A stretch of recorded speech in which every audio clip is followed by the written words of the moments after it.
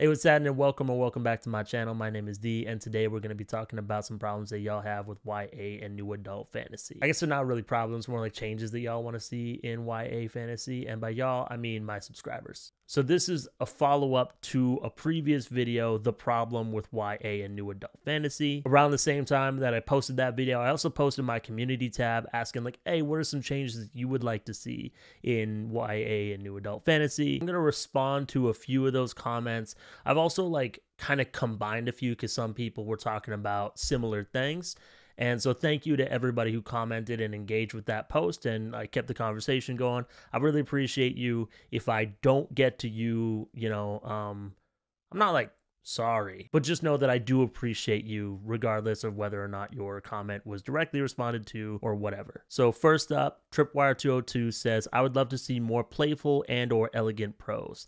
Terry Pratchett style narration, things like that. Many YA books I've read have near identical styles of narration, and I think that's a shame. First off, I don't know who Terry Pratchett is. Don't tell me I don't have the time. And second, like I definitely see where you're coming from. Like I, I said something like that in my video where I said like there's almost like a YA style or accent that's kind of being developed, much like there's this kind of accent when it comes to like newer pop singers singing. And on that video, uh Cat, one of my patrons, I, I'm I'm pretty sure it's the same person. Y'all y'all change your usernames from platform to platform. So sometimes I'm not entirely sure. But I'm pretty sure this is one of my patrons. Uh, oh, totally forgot to do this. Shout out to my plus ultra don't fret or laughing cat dog, my top tier supporter on Patreon. Thank you so much for your support. Uh, you're helping to ensure that I'm able to keep creating this content and put it out as frequently as I do. Uh, if you also want to help out the channel and gain access to exclusive content, make sure you consider subscribing to my Patreon. Back to what Kat was saying. Uh, the reason that a lot of books feel similar is uh, direct result of publishing not being willing to take risks, which I absolutely agree on. That's not the whole comment the cat made. Cat made some other really good points, and I appreciate you, Cat, uh, wherever you are, whatever you're doing, probably folding laundry or something like that. Because I'm pretty sure that my channel is just lo-fi beats to chill slash study to, but there's no beats. It's just a guy talking about books or maybe an author doing something terrible. It's funny, like every once in a while, I've been included on like lists of people recommending booktubers or book talkers to watch or whatever. And they'll go through a list of people, there's maybe like six or seven people on the list, and it'll be like, oh, this person's so insightful and they have such amazing recommendations. This person is just like a great advocate for this community and just seems like so nice and so sweet and so cool and so smart and all this stuff. And they go off on each person for like a minute and a half. And then they get to me like, that dude's funny. That guy's chill. I do laundry to him. And then they keep it pushing. And I think that that's funny. I think some people think that I'm taking it like it's a diss and I'm not. I think it's funny that you can sum me up as laid back, make some goofs sometimes. I'm way off track. I apologize. Anyways, what Kat was saying about publishing not willing to take risks, I absolutely agree with. I see it a lot, and you know, I'm gonna come back to that point later on in the video, but you know, I see it in all branches of the entertainment industry and you know, uh, all these executives want to make sure that they make their money and get a big return on their investment, so they don't want to invest in something new that's untested. You know, you know that's why a lot of YA fantasy um, kind of feels as formulaic as a Marvel movie. Um, does anybody still watch Marvel movies? I fell off like around the third Thor, I think, on Tripwire's comment. You know, seeing a little bit more difference in style and authors kind of cultivating a unique voice in their prose and stuff like that, I think would be really refreshing because it feels like the genre or the category of young adult fantasy is getting really homogenous. And and I understand like and I guess publishing's like well that's a good thing because then we're always going to make like we're always going to get like a like a moderate hit at at worst or something like that. But as a reader and as somebody who enjoys consuming various different types of things, it gets really hard to find stuff to recommend to people or stuff to even talk about. You know what I mean? Like if if everything is the same all the time, like my videos end up being like five minutes long. I'm just like, yes, it's it's another one of these.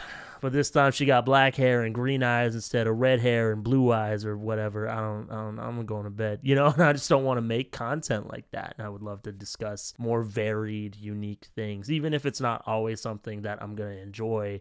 I think being able to like make different commentary is is a good thing for me personally. And then obviously for the rest of you, it's got to be boring. Like a lot of people who watch this channel read for fun or read for enjoyment um, among other things, and it can't be fun to keep watching. You ever notice like a lot of sitcoms, like, oh, what's it about? Oh, it's about a young woman who moves to the city and makes a bunch of oddball friends. Like, how many times have we seen that? There was an era for like nine different shows that had that same premise and like the same kind of archetypes of characters, and I feel like we're almost in that era with YA fantasy, and so to break out of that as soon as possible would be would be hype. Moving on to the next comment. Uh, my BFFAE, my bestest friend forever and ever, reads with Rachel. Scratch all that, none of it's funny. Loki, the creator of this channel, the reason that most of you know who I am, the legend herself, reads with Rachel, says full developed magic systems, more platonic love, and better descriptions. On full developed magic systems, I know it's not YA fantasy, but it is fantasy meant for young people. I highly recommend everybody read or watch Hunter Hunter. The manga is like not the best looking manga in the world, but the anime is dope and it is one of the most like sophisticated power systems I've ever come across. Another anime manga that's kind of known for having complicated power systems is Jujutsu Kaisen, and it's heavily inspired by Hunter Hunter. In Hunter Hunter, stuff like makes sense and the rules don't break. According to my tattoo artist, who is way more into anime and manga than I am, uh, Togashi, the mangaka for Hunter Hunter, has a master's degree in game theory, and Gege Akutami, Akutomi, uh, is just a guy. I don't really know where my artist got that information. I tried to look it up, couldn't confirm it, but I also trust him uh, at least enough with uh, putting something permanent on my skin. But in but in actuality, I do strongly recommend, like any fantasy writers, dip your toes into shonen manga or anime, just like to study. I also like you know when I teach my students, I always say like read outside of your genre to see if there's anything to learn, you know, or like consume stuff outside of your genre. Like um one of my students it was working on a story that was like vampire hunters, but I was like, yo, what if you just threw in a bunch of spaghetti western influences or something like that? So they ended up consuming a bunch of westerns, and it it turned out to be like a really fun, cool story. Spin of Fate by A. A. Vora is also like apparently inspired by Naruto, and that is one of the most unique magic systems I've read in YA fantasy uh, ever. And also, yeah, I've read Spin of Fate you can stop asking now. While we're talking about magic systems, I also saw a few comments were like, "Ayo, leave shadow magic alone." And I get that. Like, I think we're all tired of people trying to replicate the success of A Court of Thorns and Roses, and I, I don't know if that's what the series is called or if it's called something else. I don't care, but I think that that created almost like archetypes of characters the edgy shadow boy the grumpy golden boy and all that shit and it's left a bad taste in a lot of people's mouths when it comes to shadow magic i don't know if i want to see people like stop doing shadow magic because you know going back to Naruto, one of my favorite characters uses shadow powers, and I have this secret working project that like I'm probably never gonna release. Like you're never gonna get your hands on it. I'm just gonna print out like a copy for me and my friend Lorianne because she's the best.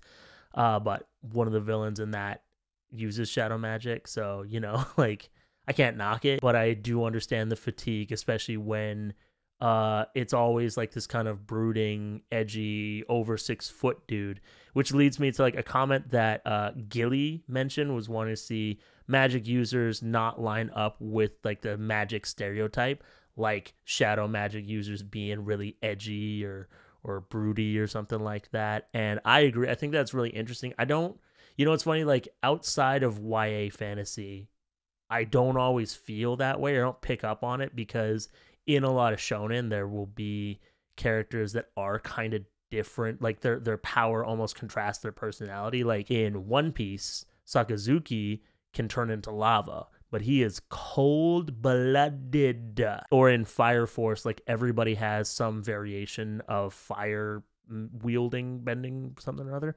and but they all have like very different not very well fleshed out personalities. So you know, outside of YA fantasy, I do experience that a fair bit, but within YA fantasy, I think I, I honestly think it's mostly just the shadow magic that I notice it with. Um, I haven't seen a ton of people. I haven't I haven't read a bunch of characters that have like fire magic and they're really hot tempered or something like that. Um, but I could see that getting really boring and old if you read more YA fantasy than I have. I think I mentioned this before, but a lot of fantasy that I've read, I've read since becoming a booktuber, and so like I'm not as well read in the category or genre or whatever. A book that comes to mind that has a shadow magic user, but it, the magic itself is different, like its mechanics work differently, but also the character's personality isn't uh, really edgy or whatever is Sinner's Isle by Angela Montoya. And I'll put these recommendations or whatever recommendations in the description below. Raf, make a note of that. I don't know why this reminds me of it, and I'm getting a little off track or like losing track of my notes, and I apologize again. Um, this is a very like I'm in a weird headspace today, man. Something that a colleague of mine has said a couple of times is that there are people who romanticize being a writer more than they romanticize writing. And I think unfortunately we're kind of in a time where there are a lot of people who romanticize being a writer more more than writing are the ones who end up with like publishing contracts or getting book deals or whatever. And it sounds so pretentious to say this. And I also have no way of backing this up, but I think part of that is just cuz like because they would rather just like do the thing and they want to be like whoever they read that they enjoyed, they're willing to not they're not as willing to or not as inclined to take creative risks and try to come up with something new. They just want their own version of whatever was successful you know? Like like in music i meet a lot of people that just want to be taylor swift. They just want to be john mayer ed sheeran phoebe bridgers or whomever and they're not really interested in trying to come up with a unique blend of influences or or try to find out who they really are. They just want to be like whoever they listen to and i think that's true for any art form, but I see it a lot more. I see it being like rewarded a lot more in publishing than other fields. Going back to Rachel's comment talking about more platonic love, there are also a bunch of comments asking for like less romance. I feel that, you know, like I I'm not a big romance kind of guy. Obviously, like I like a cute moment, I like a little sweet romance, but like the romances are never sweet. For this channel, I've read like more romance than I ever thought I would in my life, and most of it's really upsetting. And I would love to see more platonic love. I am a sucker for the power friendship trope. Not as big a fan of the friends we made along the way, but that's fine. I will take that if it means we get a breath of fresh air. And I think it's dope to show younger audiences or just like people in general that friendships can also be fulfilling and it's not all about the romance or whatever. I, I think that this like overemphasis on like heteronormative relationships are what's going to complete you is like kind of harmful and it's just not true you know like me and my wife are we're good we're solid i love my wife she's the best but like we also understand that we are not the be all end all for each other's like needs when it comes like socializing or whatever i think trying to put that on one single person like you're all that i need uh f- like in terms of like community and stuff is harmful. It's like a lot of pressure to put on someone and it's just to set you up for disappointment. So me and my wife we like really try to like pour into our friends and like build a network where we have like friends as individuals and friends as a couple and all that stuff and that's really important to us and I love all my friends. I don't love all my friends. That's not true. There's some that are treasured acquaintances, but I deeply appreciate the role that a lot of my friends play in my life and I think that they help me be a better partner and also and now I'm going way off script again but yeah platonic love and just having like a story based on like friends or siblings or just something else you know would be great. And you know I, uh, there were some comments asking for more ace representation or a romantic storylines and stuff like that and I just thought that that would be really interesting because again I think that it's just kind of oversaturated with too much, too much romance and too much like fated mates and and you guys have to come together and if you don't the world's gonna end and all this bullshit and it, it's it's a lot and I would just need like some changes of pace, you know. I saw a comment that was like sometimes these romantasy books have like really interesting premises or some they're not even marketed as romantasy they're just re- marketed as fantasies and the premise sounds really cool the world's really cool and then all that gets like pushed to the back for the sake of this romance that it's probably between two characters that are pretty shitty, uh, if we're honest. So I get that. I feel that. I would way rather immerse myself in an interesting, creative world than see some main character try to smash. And on the third part of Rachel's comment, uh, better descriptions. I don't know, just be better at writing, I guess. I'm I'm joking. I've said this before, but I get the sense that a lot of these like YA fantasy writers that are trying to replicate uh Game of Thrones, no, fuck Court of Thorns and Roses. I think a lot of them try to do this like pretty purple prose thing and it just doesn't work because they're trying to sound poetic but they've never dabbled in poetry they don't read poetry they don't really know why some poetry is beautiful and some of it's like nonsense and all that stuff, or how there could be beauty in the nonsense depending on what you're trying to write. And so, again, I know I have a few writers like who watch my videos or whatever. I strongly recommend read manga or watch some anime just to like learn more about world building and power systems read some poetry attend a workshop write some poetry something you know? And when you're reading poetry read diversely. Those are my recommendations so far. I'm i'm giving homework this video come back to this video and comment your favorite poetry book and your favorite anime. I would actually be super interested to know people's favorite poetry book and people's favorite anime. That'd be that'd be hype. Phantom fireside kind of echoes a lot of what rachel said but adds bring in some mythical beings dragons and fair all i hear about nowadays uh, and more male leads please. And we've had so many female pro- that pro that, oh my god. We've had so many female protagonists uh it's not fun anymore. On other mythical beings, uh, Master of Djinn, the Golem and the Jinni, uh, Spin of Fate. Again, I've read it. Shut up. I like the concept of dragons. I watched American Dragon Jake Long when I was a kid. Um, you know, the dragons and like Dragon Ball and all these other like stories that I really enjoy. So I like dragons, I am kind of tired of reading about them. I am going to read So Let Them Burn and Dragon Fruit. Don't worry, leave me alone. But, you know, I'm sure there's like mythical creatures that we don't hear enough about. I would like somebody to do Griffin some justice somehow, please and thank you. Because uh, the Fourth Wing series, whatever that's called, uh, the em- Empyrean who fucking cares, did Griffins real dirty for no fucking reason. What do you mean they can't fly? They're fucking birds. Screw you. I, so I need somebody to advocate for a Griffin dignity and uh, write a Griffin book. But there's like so many other things that could be written about that would be interesting. Um, or or hey, maybe there's like a, a mythical creature that hasn't been invented yet. I don't know. Also, I want to add to this list. Um, I'm also tired of vampires. So dragons, fae, vampires, I'm, I'm over it. On more male leads, one of my patrons also said this. Uh, thank you, Monster Enthusiast. I never thought that I would read something like that.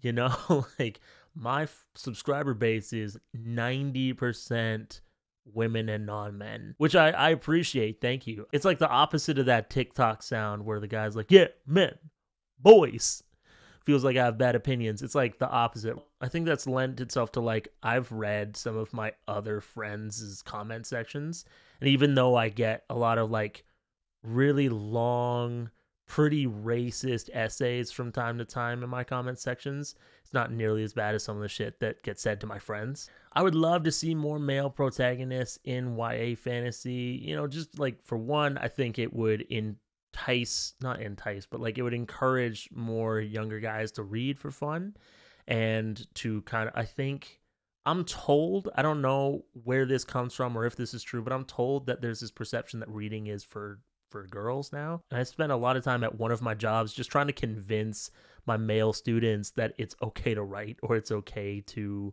like express yourself through the written word or something like that and you can read and that's doesn't make you less of a man. And so it would be cool to see more kind of like examples of healthy masculinity young and to have young men be able to identify with characters going through different things you know? I think it would help young men feel more seen feel more included feel a bit less alone because i think that there is i think because i believe that there are a lot of like young dudes who are feeling a little like excluded or, or not cared about or, or something and like toxic masculinity and like motivational culture and all that shit is very isolating and so like to kind of counteract that through story would be beautiful and shade i can hear you I'm doing my best. I work like 60 hours a week. Plus, I do this. I'm very tired. There are a couple comments just saying, like, can we have like lower stakes stories, you know? And can the main romance not be intertwined with those extremely high stakes, please? I totally get that. The idea of like the fate of the realms or the kingdoms or whatever the fuck being like hinged on these two 17 year olds' ability to communicate with each other and whether or not they're gonna like smooch, terrifying. So stupid. I don't like it at all. Never liked it. Even as a 17 year old, I was like, what does this have to do with anything? You know, like, why is the planet going to explode if these two don't get married? You know? And I wonder if some authors raise the stakes like that to make them like planetary, cosmic, or whatever, because they want to make the story compelling and they don't really know how to do that just by making the character, by making the readers care about the characters enough. I don't know because like the fate of the world can't the the fate of I, I don't think the fate of the world is a trope, but I feel like that can get tiresome and it can just be a story about the individual going on a quest. It can still have stakes and can still be have like action and danger and all this stuff, but it could just be about whatever's going on. You know what I'm saying? Like um this is such a dumb example, but like John Wick, I haven't finished that movie series or caught up with it, so like I don't actually know if what I was gonna say was true. Uh, the point was just that like sometimes a compelling story can just be about the individual, and there can still be all this the stuff that makes a YA fantasy book good.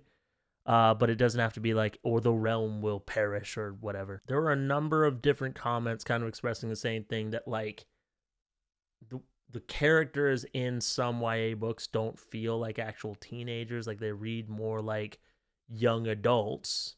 And then new adult sometimes they read like teenagers. I think part of that is because like the categories are not well defined as I said before. New adult I think is like a new thing and um you know some people say like it's because authors don't understand that young adults about asking who am I and new adults about asking okay now what and I don't know if I agree with that because like you can like there there could be coming of age stories for somebody in their mid 30s because you're a very different person Uh, from at 32 than when you're 25 or you're a different person when you're fucking 40 than when you're 30 i think there's this misconception that life kind of is just kind of like coasting from 30 until you die and that's like absolutely not true you know? Like i have friends who are like in their 50s and they're talking about like going back to anyways doesn't matter. And i think another thing is that some authors uh, they write adult fantasy, but because they're women and publishing is steeped in misogyny,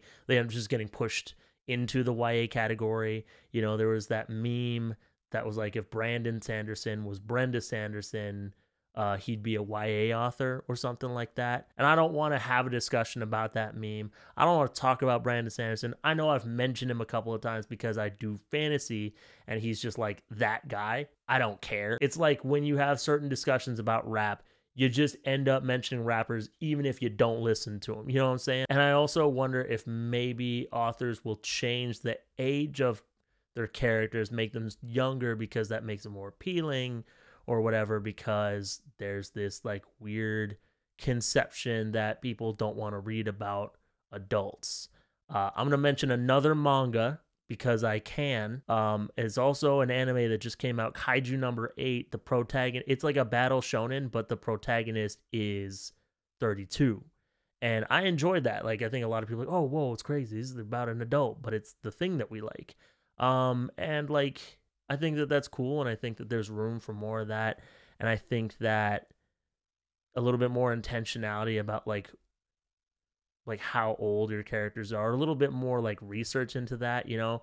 It's like there are some times where you see like a movie about a teenager uh, and they use social media, but the movie's written by somebody in their like 50s who doesn't know how high school operates anymore and doesn't know how the internet works. I feel like you can see some of that in YA and new adult fantasy now. I'm not saying that only younger people can write YA or, or new adult. I just think that if you're going to, you have to like talk to or learn more about youth culture, if, especially if you're trying to appeal to youth culture.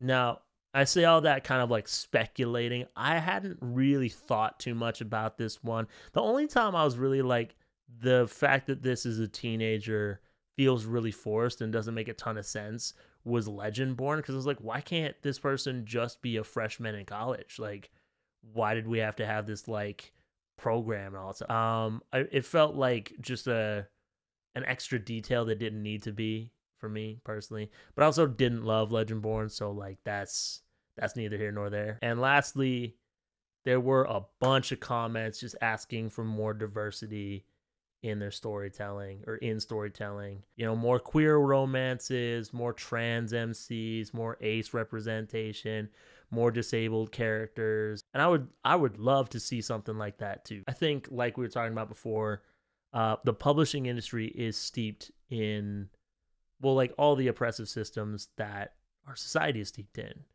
Racism, misogyny, homophobia, ableism, all this stuff. And and because they're not willing to take the risk, it's like why would they, you know, spend money on giving marginalized people a voice? letting marginalized people see themselves in their stories or whatever. Like that's super risky. And I'm sure that there's like publishing houses that are being created or that are starting up right now that I don't know about that are doing the work of uh uh trying to advocate for more diverse storytelling. I know um book talker uh author Michael LeBourne has a company called DYB Publishing and he's doing the work of trying to elevate black and brown voices and I, i'd love to hear about more publishers that are doing stuff like that because like i said because like i said in my last video like humanity is this beautiful tapestry but if the only thing that people kind of see is white then what's the fucking point and the executives in publishing houses and stuff they don't really care about telling interesting stories or doing something new you know, like they're afraid to take risks. They just want to make their money and uh, they want to profit off of our entertainment. And I think it comes down to like consumers asking for more, demanding more, and showing, I guess, in a way, showing that there is like money to be made in elevating these voices, which can be kind of tricky because some of these like marginalized communities that deserve to be represented are also really small. Um, so I, I'm like, I don't know, I don't know like I don't have the answers for all that. I just I agree with that and would love to see more of that. You know, like I, have said before, I have students who represent a bunch of different communities in the schools that I work in. I would love to see them see themselves in literature. You know, it, you know poets that remind them of them, fantasy characters that tell them that they can be the hero of their story, um, regardless of what regardless of whatever stacked against them and their identities. I get really irritated with folks who are like, oh, people trying to force diversity or whatever. It's so hateful that they're trying to force inclusion or whatever. It's like, nah, they're just trying to include people. And you just don't like that they exist and you don't want to admit that you're a bigot, you know, because you're lying to yourself or whatever. And that's like a whole other thing. And I don't want to get too deep into that because I'm not like the most serious guy, you know, like, um, but I I would like to see some more diversity. And, and I, there was this other comment that I saw is like I want to see more creativity and passion for storytelling. And I think I kind of touched on it before, but yeah, I'd also love to see. I would love if the publishing industry as a whole was willing to give more support and more opportunities to authors who have the passion uh, to tell a beautiful creative story and also have a voice from a perspective that isn't that isn't already uh, oversaturating the market. But in the meantime, thank you so much for watching this video, especially if you made it to the end.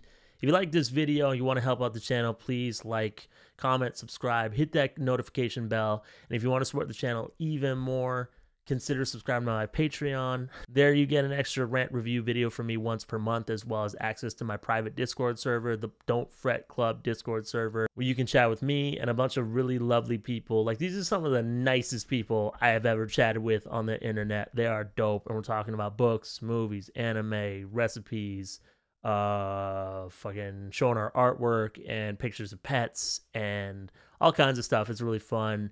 And we also do a book club where we get together and talk about a book that we read, pick a different book each month. You know what a book club is. I don't know why I'm telling you this. And it's great. So if any of that sounds interesting or exciting to you, make sure you consider subscribing to my Patreon. Special shout out to my super duper don't fretters, Keisha, Cassie, Knightsmith, and Oliver. I appreciate you so much. And how you're helping me to create this content and put it out as frequently as possible. Everyone else, thank you again so much for watching this video. My name is D. Don't fret. I'll see you next time. Peace out.